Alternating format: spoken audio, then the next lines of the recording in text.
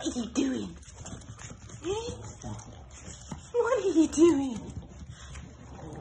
Oh, just busy. What have we got going on there then, eh? What have we got going on there? Uh oh, here she comes.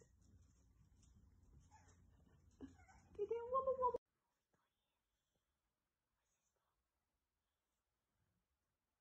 What have we got here? Eh? Three in a bed?